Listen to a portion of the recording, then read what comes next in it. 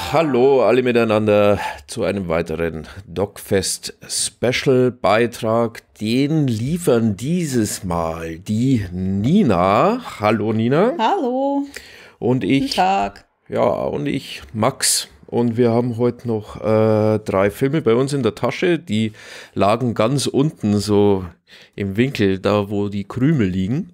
Und dabei handelt es sich um den Film Hashtag Unfit. Irgendwas mit Donald Trump. Dann äh, Swinger, die wunderbare Welt des Partnertauschs. Und Nina erzählt uns etwas über Hongkong. Was war das? Hongkong Moments. Okay. Hongkong Moments heißt der Film. Hongkong Moments. Und da ich zwei Filme habe, werde ich jetzt mal gleich mit dem ersten beginnen. Und ähm, ich habe den Pfeil auf die Dartscheibe geworfen und dabei kam Swinger, die wunderbare Welt des Partnertauschs bei raus. So, der Film ist ein deutscher Film und ähm, der kommt aus dem Jahr 2019 von Stefan Zimmermann und ist da in dieser Kategorie Münchner Premieren. Ja, und was gibt es über den Film zu sagen? Eigentlich werden da nur Paare beim Swingen begleitet und zwar in ihren äh, ja, skurrilsten Outfits, skurrilsten Momenten. Wir haben da einen Fotografen, der mit seiner etwas älteren Ehefrau gerne swingt.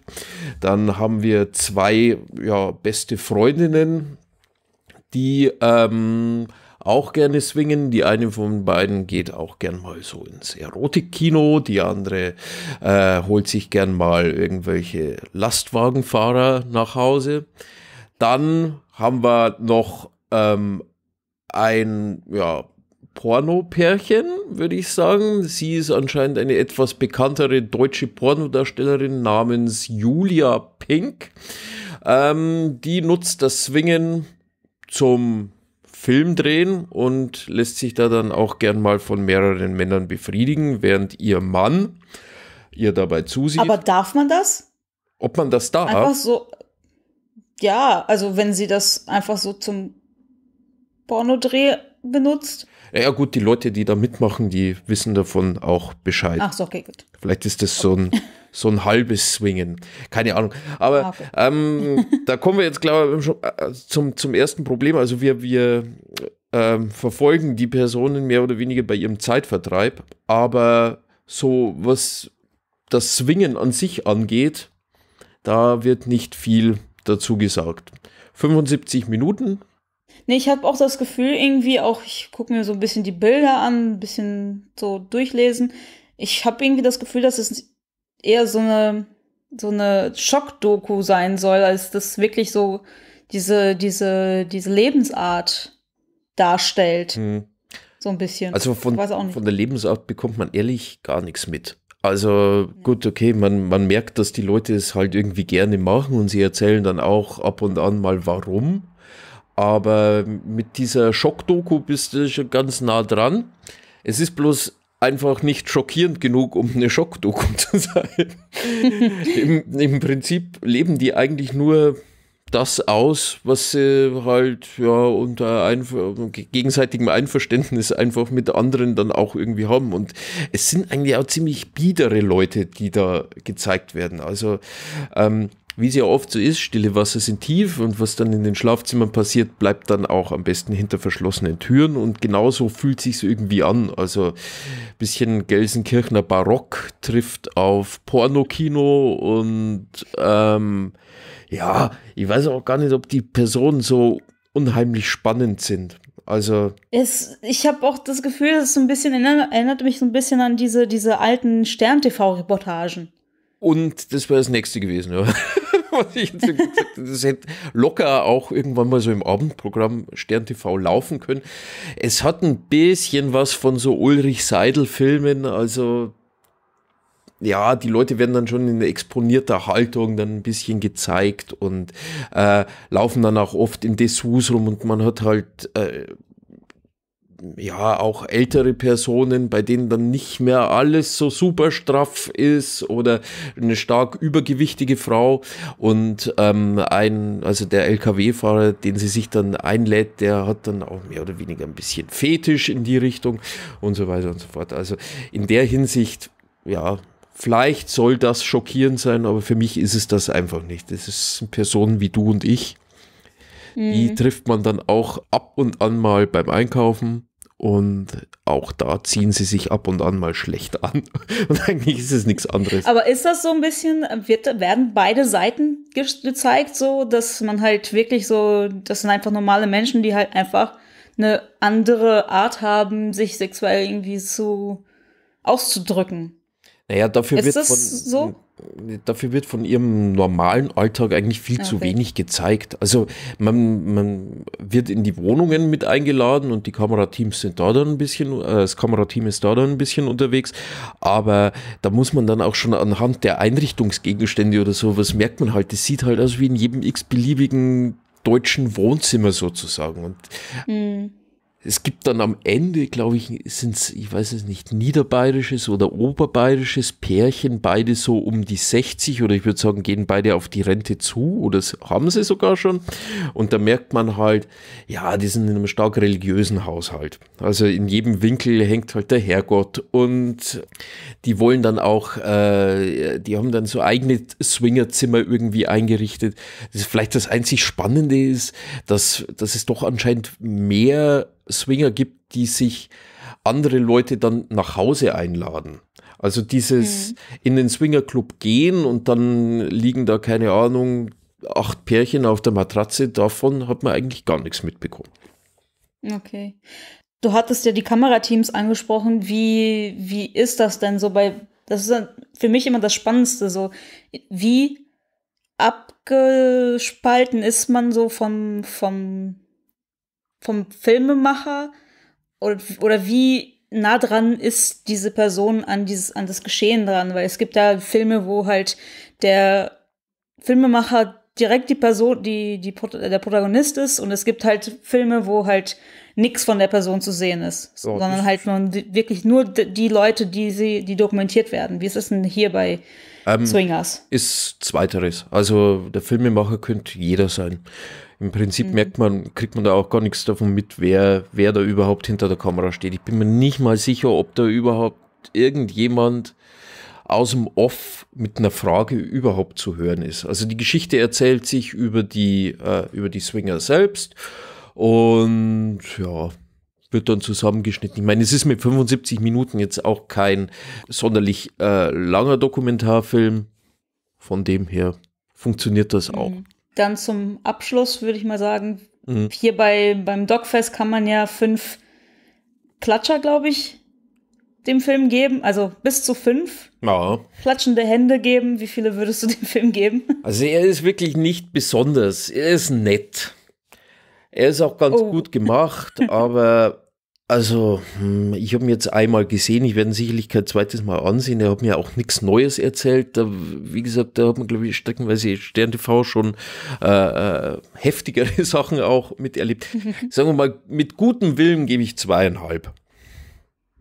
Okay, das ist also keine Guckempfehlung, aber auch nichts, wo du sagtest, oh, hätte ich mir dann doch die Zeit für was anderes genommen. War keine verschwendete Lebenszeit. Ich glaube, ich hatte sogar eine leckere Pizza, während ich den ansah. Deswegen hat sich das zumindest kulinarisch gelohnt. Das ist ja schon mal was. Ja. Ähm, dann äh, geht's mal weiter nach Hongkong, oder? Genau. Bitteschön. Äh, ich habe den Film Hong Kong Moments geguckt, weil ich mit Hongkong verbinde ich seit äh, seit längerem halt diese Protestbewegung, die es vor gefühlt 50 Jahren gab, aber ja. eigentlich vor Corona knapp ein Jahr her ist, ähm, wo halt ganz, ganz viele Leute auf die Straße gegangen sind, um gegen den wachsenden Einfluss äh, der Pekinger Führung in Hongkong zu protestieren und dass die von der Regierung beziehungsweise auch dann von der Polizei, die als Arm der Regierung mehr oder weniger zugange war, äh, niedergeschlagen wurde. Erst nicht so brutal und dann immer brutaler. Und deswegen dachte ich mir so, ich will mir gerne ein bisschen mehr davon ansehen. bisschen mehr da rein, weil, ne, Hongkong, wie das mit China zusammenhängt und diese ganze Geschichte, da hatte ich keine Ahnung von. Deswegen dachte ich mir so, ja, dann, wenn man einen Dokufilm guckt, dann sollte man vielleicht auch ein bisschen was dabei lernen. Ja. Deswegen habe ich mir Hongkong Moments angeguckt von äh, Su Bing. Mhm. Hat Regie geführt. Äh, die Originalfassung ist auf äh, Chinesisch mit und englischen Untertiteln. Also man muss auch ein bisschen was lesen. Man muss da schon ein bisschen offen dafür sein.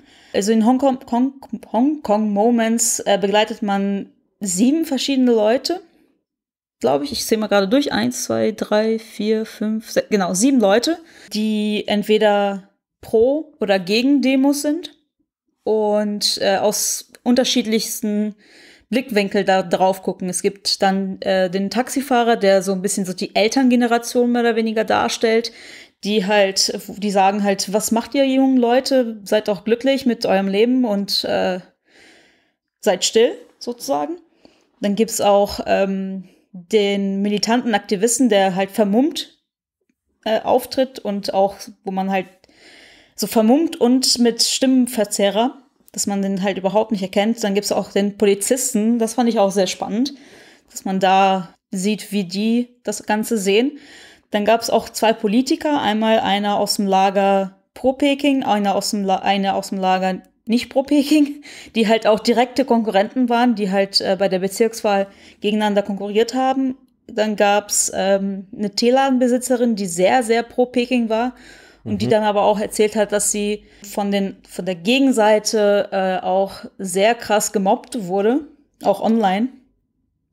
Und dann gab's auch den Rettungssanitäter, das fand ich auch vielleicht mit am spannendsten, mhm. weil der hat sich da nicht wirklich positioniert, aber einfach nur da, um zu helfen. Das ist so das Besondere an Hongkong, Hongkong Moments, an diesem, an diesem Dokumentarfilm. Okay. Dass man halt diese ganzen verschiedenen Perspektiven hat. Also klingt für mich ehrlich gesagt ziemlich spannend. Vor allem, weil, weil es eben so diverse Meinungen irgendwie zulässt. Ist es jetzt dann so, dass der Film ja irgendwie durch, ja, durch die prekäre Situation, ich schätze mal, diese Shu Bing oder der Shu Bing, ist es eine Frau oder ein Mann? Das weiß ich nicht. Deswegen ja. habe ich. Su Bing hat Regie geführt oder Shu Bing. Merkt man da Der irgendwie. Filmemachende. Die Filmemach filmemachende Person ähm, hält sich die irgendwie zurück oder, oder geht, ja, spricht da jedes Thema an? Also gibt es da irgendwie so, keine Ahnung, Zensur oder Sachen, die mit, mit, mit, ähm, nur mit der Kneifzange angefasst werden? Oder ist es eine durchaus offene Dokumentation ohne, ohne irgendwelche Schnitte und also ich würde sagen, das ist eher neutral Tendenz zu Pro-Demokratie-Bewegung, weil mhm. das war ja die, die Lager sind halt Pro-Demokratie und Pro-Peking. Halt, ich weiß, äh, da, da, ist schon so eine Wertung, dass sie halt das die ganze Zeit so nennen, mhm. aber ich mhm. weiß halt nicht, ist vielleicht wirklich so als, ähm, als Name in Hongkong und das ist halt dann nicht so negativ. Also wenn man halt nicht pro Demokratie ist, ist es halt vielleicht nicht nur so negativ, weil das halt eine andere Bedeutung hat. Ähm, aber es gibt dadurch, dass man halt alle Seiten sieht, auch vor allem halt von dieser Teeladenbesitzerin, dass sie halt pro Peking ist und deswegen halt online so massiv äh, Mobbing und sogar auch Todesdrohungen erfährt. Mhm. Aber dann auch andererseits sieht man halt die eine, Polit äh, die eine Politikerin, die genauso Morddrohungen bekommt. Dann denkt man sich so, beide Seiten sind in der Hinsicht vielleicht nicht richtig, aber dann sieht man halt die Demonstrationen, wo die Polizisten halt mit, mit Munition, mit scharfer Munition halt auf die Demonstranten schießen. Das sieht mhm. man halt auch. Da muss man halt auch sagen, man muss echt dickes Fell haben, um diese Doku zu gucken, vor allem zum Ende hin, weil da genau wie die Demonstration an sich auch, dann es wird immer gewalttätiger, es wird immer brenzliger da alles. Und das ist echt, echt spannend zu gucken. Ah, okay, das wäre jetzt meine nächste Frage gewesen. Wie nah geht die äh, Dokumentation da wirklich ran an die, an, ja, das sind ja gewalttätige Auseinandersetzungen. Also man ja, ist dann mittendrin sozusagen. Mittendrin. Vor allem, wenn man halt mit dem Rettungssanitäter da unterwegs ist, der, ne, der ist halt da die ganze Zeit so wirklich mittendrin. Und es ist schon, schon hart. Hm, sind das dann auch die einprägendsten Momente für dich gewesen? Ich glaube, das war zum einen halt wirklich so alles, was mit dem Rettungssanitäter zu tun hat, aber vor allem auch so diese Mischung aus Langeweile, während man halt wartet, dass irgendwas passiert und dann passiert was und dann muss man halt schnell sein. Hm. Und das ist halt so diese, diese Adrenalinschübe teilweise. Fand ich halt echt heftig. Aber was ich auch sehr interessant fand, war das mit der Politikerin. Fand Mhm. ich auch sehr interessant. Vor allem, dass sie, die haben auch Footage von ihr genommen. Sie hat bei einer Demonstration gefilmt und wurde dann festgenommen von der Polizei. Und diese, diese Aufnahmen haben sie auch mitgenommen. Und das fand ich halt auch so, so krass. Es ist alles so sehr, sehr, ähm, geht sehr nah. So. Ja. Man muss echt ein bisschen aufpassen, wenn man halt äh, sowas halt nicht gut ab kann. Dann sollte man vielleicht drüber nachdenken, ob man den Film guckt. Okay, also äh, soll jetzt bedeuten, du bist von Haus aus niemand, der gern gewalttätige Filme guckt und Ja, also nee, ich, ich habe halt Gott sei Dank noch nie Gewalt, also Polizeigewalt oder sowas ähnliches erfahren müssen. Deswegen kann ich da noch mit einem, vielleicht mit einem anderen Blick da drauf Mhm. gucken, als irgendwie Leute, die halt ständig äh, auf Demos sind und da irgendwie ein bisschen mehr, bisschen näher dran sind an diese ganze Thematik. Mhm.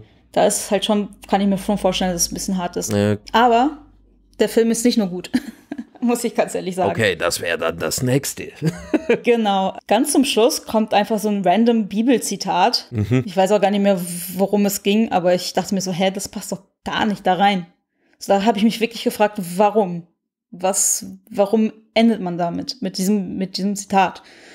Ich glaube, war irgendwas von Genesis, also irgendwie, ir- irgendein, irgendein random Bibelzitat auf jeden Fall. Okay. Und was ich auch so ein bisschen komisch fand, war, dass es sehr viele ruckelige Slow-Motion-Aufnahmen gab. Mhm. So, wo ich mir dachte, jetzt brauchen die halt bestimmt irgendwie Filmmaterial und haben nicht so viel aufgenommen, wie sie wollten vielleicht, sodass sie halt einfach Szenen sehr lang gezogen Das ist haben. aber ein billiger Trick, muss ich sagen. Ja, und die Musik war auch teilweise ein bisschen sehr melancholisch, sehr melodramatisch und ein bisschen nervig, aber das war nur an manchen Stellen. Naja, gut. Und dann ging es halt weiter mit dem Film, der interessant ist und ähm, guckenswert ist. Ja. Aber es gab so ein paar so äh, Momente. Ich wollte dir nicht ins Wort fallen. Nee, nee, ich, es war nur so, es, ja, es gab so ein paar Momente, wo ich mir dachte, so, nee. nee.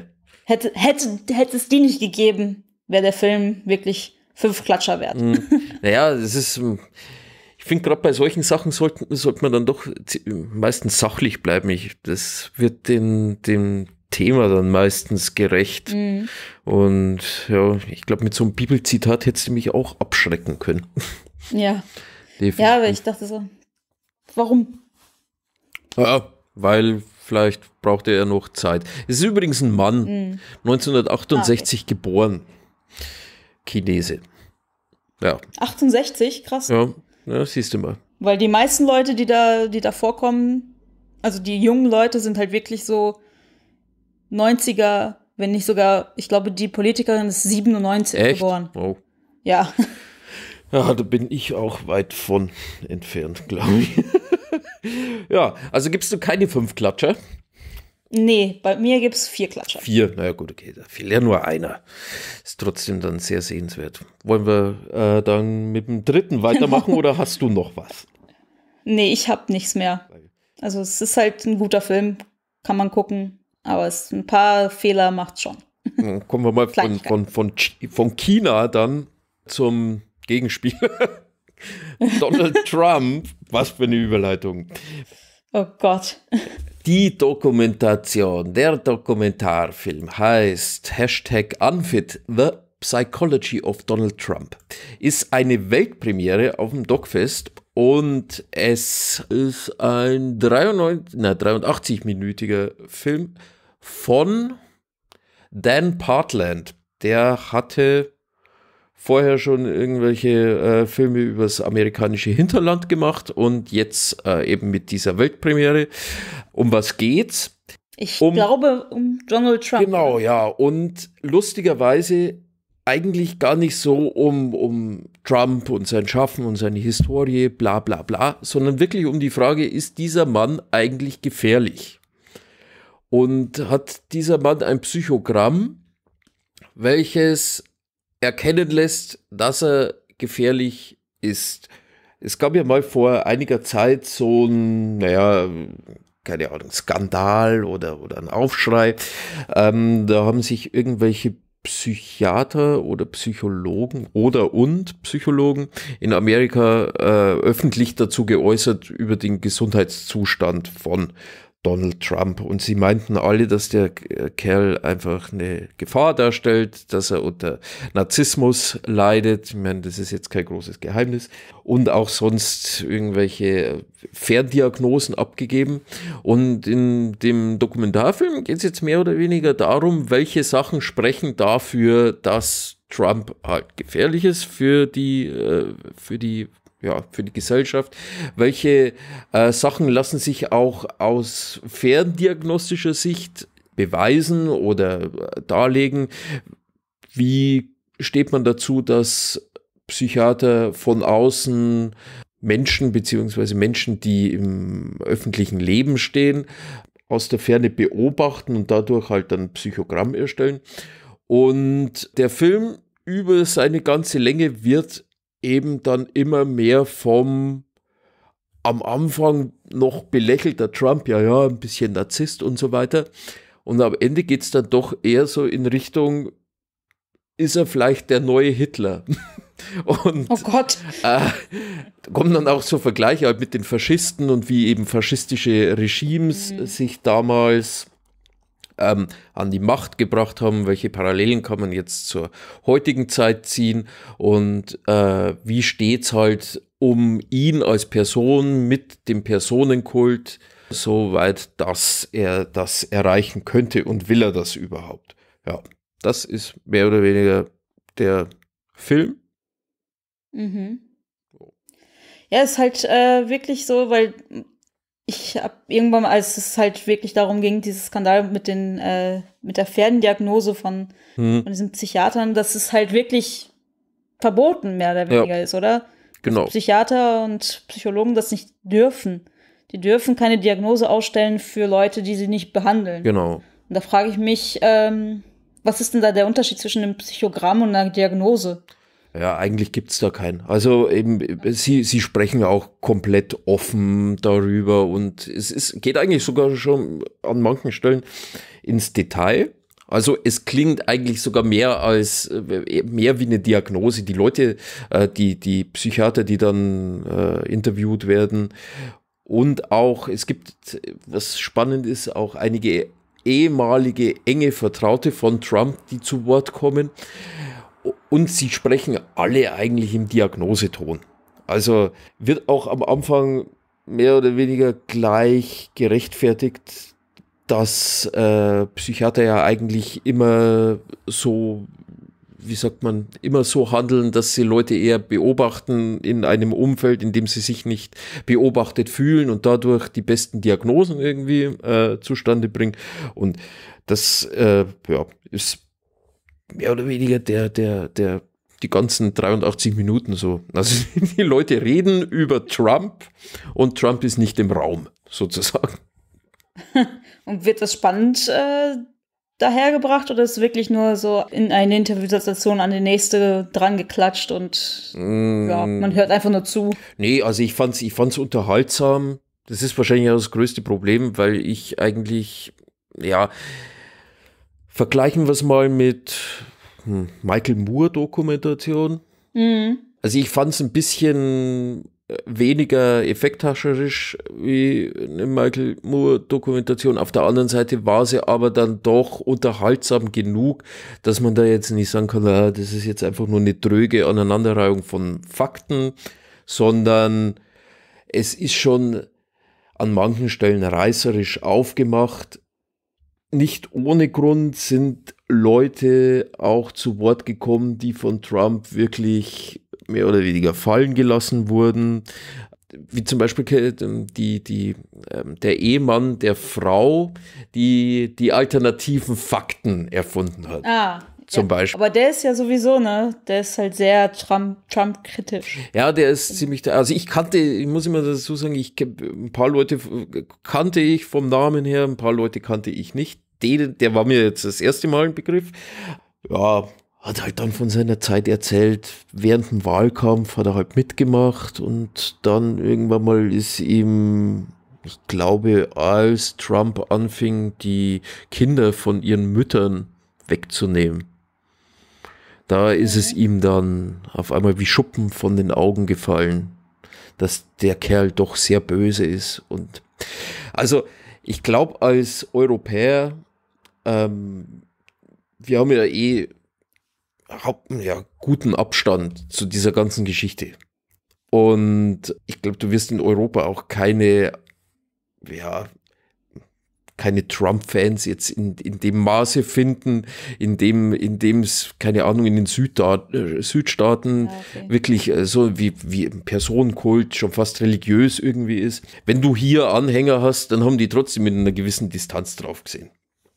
Mhm. Und ähm, ja. Ich, eine Frage. Ähm, du hast jetzt auch gesagt, als Europäer ist man ein bisschen distanzierter, aber ist man da auch ein bisschen distanzierter im Sinne von, dass man mit den Leuten auch nichts anfangen kann? Das, du meintest ja, du hättest nie von dem gehört und ist das wohl vielleicht auch ein bisschen also, so, dass man halt sich denkt, ja, da reicht sich einer nach dem anderen an und ich habe keine Ahnung, wer die, diese Leute sind. Was sind deren deren Credentials sozusagen, mhm. was sind deren, äh, warum dürfen die da überhaupt reden? Also sie werden zum Glück immer wieder ein bisschen eingespielt. Also die, die, äh, mhm. oder beziehungsweise vorgestellt.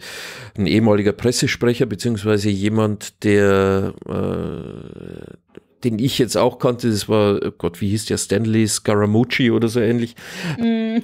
der zwei Tage im Amt war. Ja, genau. Der kommt zu Wort und also es scheinen auch sehr renommierte Psychiater zu sein. Und ich schätze mhm. mal, dass die da damals auch während dieser, dieses, in Anführungszeichen, Skandals der Ferndiagnose auch diejenigen waren, die damals zu Wort kamen. Die haben dann in Harvard oder keine Ahnung, sonst irgendwo studiert. Ja, aber für mich jetzt als, als jemand, der, der die nicht täglich jetzt in der Tageszeitung liest oder vielleicht irgendwie täglich im Fernsehen sieht, keine komplett unbekannten Gesichter und auch Kellyanne Conway hat man mal gesehen, aber ihren Mann kenne ich halt nicht. So. Mhm. Also würdest du sagen, kann man gucken, auch wenn man da nicht so drin ist, wenn man halt nur sich denkt, oh ja, stimmt, Trump ist wirklich vielleicht unfit, mhm. Präsident zu sein. Guck ich mal rein. Bin ganz, auch ohne ja, ich bin, ich bin, ganz froh, dass es nicht die übliche, wir stellen jetzt Trump irgendwie so auf, den, auf, auf, die Bühne und dann hauen wir mit, mit der Keule irgendwie drauf. Es ist schon so ähnlich, weil ich glaube, es werden keine, keine guten Worte über ihn verloren, woher auch. Aber auf der anderen Seite, man findet doch immer wieder den Weg zum Thema zurück. Also es geht dann doch auch ein bisschen um, um, um, um die Krankheiten, die die Machtmenschen mehr oder weniger auch haben. Wie gesagt, am Ende wird es dann zu Hitler, Mussolini und wie die sich verhalten haben und wieso die überhaupt nach oben gekommen sind, was die mit ihren Anhängern angerichtet haben und, und wie die gesehen wurden. Es ist besser als eine Michael Moore-Doku. Es ist aber mhm. jetzt auch nicht der große Wurf. Also ich bin danach nicht äh, auf einmal erleuchtet von dannen gezogen und gesagt, ja, jetzt, jetzt weiß ich Bescheid. Nee, also ich glaube, man bekommt wenig Neues zu hören. Okay. Ja, Klatscher gebe ich trotzdem drei. Ach ja, das ist ganz okay. Da ja. Kann man gucken. Ich glaube, dass man als Amerikaner da mehr mit anfangen kann vielleicht weil dadurch, dass ein bisschen reißerisch aufgemacht ist und man dann vielleicht doch mit ein bisschen mehr Emotionen rangeht, die Sache, ja, vielleicht mehr im Gedächtnis bleibt oder mehr hervorruft. Aber jetzt bei mir auf der Couch hier in meinem beschaulichen München, nö. Ja, ist halt auch nicht so, nicht so, dass, äh, wenn man so eine Doku guckt, dann will man doch sich aufregen. Ja, klar. Bisschen aufregen geht immer, aber es war nicht das Aufregendste. Okay. Nö. Ja, ist halt vielleicht auch ganz, ganz okay. Ja. Für die, die ganze Debatte und Diskussion. Ja. Vielleicht kommt ja irgendwann mal was, was mit mehr Fakten belegt wird. Gut. Ja, das war es dann eigentlich auch, was ich dazu zu sagen hätte. Ja, und dann war es das auch mit so einem Special hier. Ja. Ein kleines Special. Es ist nur klein, aber äh, aber fein. Aber fein und so viel, Dina, dann bedanke ich mich bei dir. Ja, ich, es war mir wieder mal eine Freude. Ja, und wir hören uns sicherlich beim nächsten irgendwas. Da kommt sicher was auf uns zu. genau. Gut, bis dann. Ja. Bis dann, tschüss. Tschüss.